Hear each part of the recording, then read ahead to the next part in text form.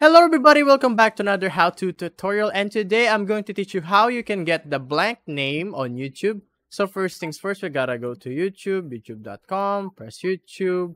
Then after that, we're going to go here. As you can see here, I already have like a blank uh, name. So we go to customize channel here.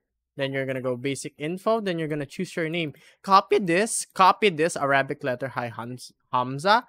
Then you're just gonna copy paste that here um wait there we go. Copy paste it here press publish then you can have like a really close to a blank name so it's just blank. And yeah that's our tutorial today. Thank you guys for watching. I'll see you guys on the next one. Bye bye